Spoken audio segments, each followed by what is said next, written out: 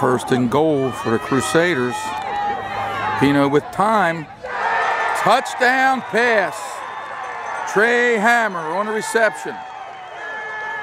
And the Crusaders are within striking distance.